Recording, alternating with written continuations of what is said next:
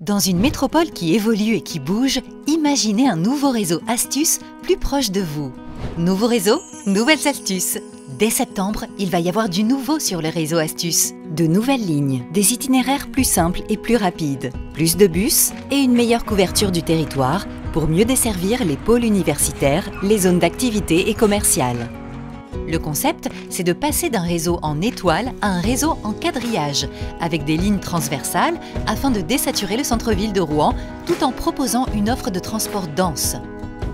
Le nouveau réseau, c'est aussi 9 nouvelles lignes, dont 4 lignes fast en plus.